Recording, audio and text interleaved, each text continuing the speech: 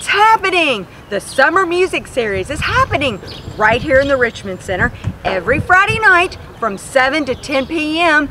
and it's starting July 10th.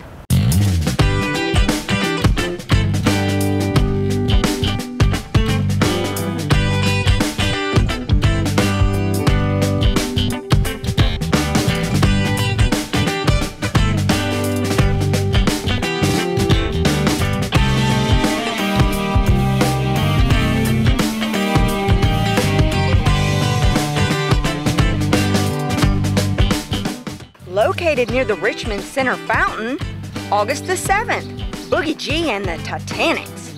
August 14th, Encore of Lexington. August 21st, EKU Bluegrass Ensemble. August 28th, Sophia Noir and the Arabesque Dancers.